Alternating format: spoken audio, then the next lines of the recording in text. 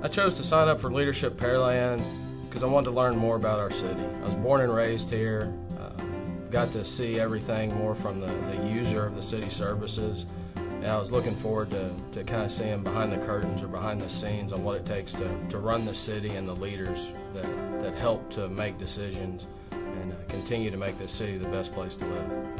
The Leadership Pearland kind of gave me a boost in terms of my involvement. I'm a CPA by trade. We're not big public speakers, don't like to, to get up in front of crowds. So every organization I was involved in, I was deemed as the treasurer, and I got to do the books, and that was about it. The Leadership Pearland kind of gave me the confidence and the skills to step up uh, and kind of take it to the next level. Uh, after Leadership Pearland, I, I went on to the board of the chamber and then chairman of the board, and then now sitting on Pearland City Council. Leadership Pearland, personally, I, I, made some of the, the best friends I've, I've had.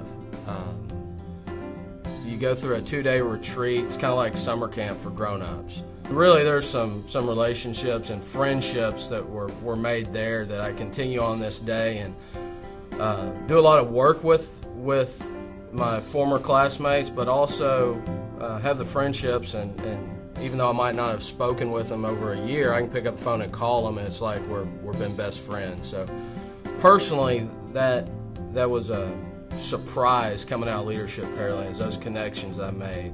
Professionally, just getting to, to meet all the leaders uh, within the city, the county, the state, getting to see behind the scenes, how things operate, how things really work just with the, the, the connections, the networking, the the public speaking that you're forced to do that I hated to do, just all, all those kind of helped push me to to become more involved and, and get more connected in the community.